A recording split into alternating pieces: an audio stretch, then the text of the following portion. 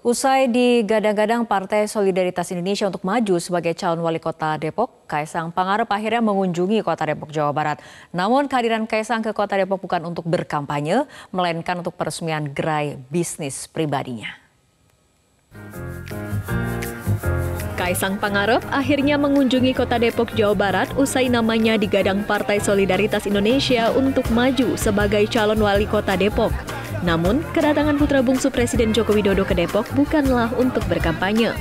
Perlu saya ingatkan sekali lagi, ini itu bukan kampanye. Saya di sini ingin membuka sang pisang di Depok yang kedua karena dulu sudah pernah di Margonda cuma tutup, makanya saya buka lagi di Sawangan kali ini. Oh, Kaisang menjadi pusat perhatian masyarakat setempat. Kehadirannya pun turut disambut relawan pendukungnya. Acara peresmian gerai Sang Pisang ini menuai sorotan karena disertai pemasangan spanduk terkait pencalonan Kaisang di Pilwalkot Depok. Pihak Bawaslu Kota Depok melalui Pawas Jam Sawangan pun mendatangi lokasi acara. Petugas kemudian meminta pihak penyelenggara mencopot spanduk berkaitan dengan pencalonan Kaisang di Pilwalkot Depok karena belum memasuki masa kampanye.